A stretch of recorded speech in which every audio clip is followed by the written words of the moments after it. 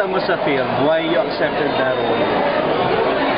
May mga bagay lang talaga na ano, eh, parang nararamdaman mo lang na gusto mong gawin. So, yun lang, na-feel ko lang siyang gawin talaga bigla na, well, kasi direct claim gusto talaga ko ng kausap din na ano, about it. So, parang kinikwento niya. Tapos, hindi ko alam eh, parang, alam mo yan, ano eh, actually ako yung last na nag-audition, so, medyo, ano siya eh, ah, Ah, nag-audition ka talaga for the Oo. film?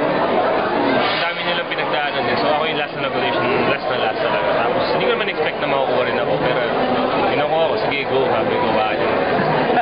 Kasi hindi naman siya yung typical na, I mean, uh, gay story na ano, at least ano siya, may, yung, it's about love, it's about uh, acceptance, and marami siyang ano, uh, tinatakbuhang issues talaga. When you were required to do a love scene with him, parang siya pa daw yung mas nahiya kasi game na game ka daw. Oo naman, wala namang problema kasi trust, trusted ko naman si ano.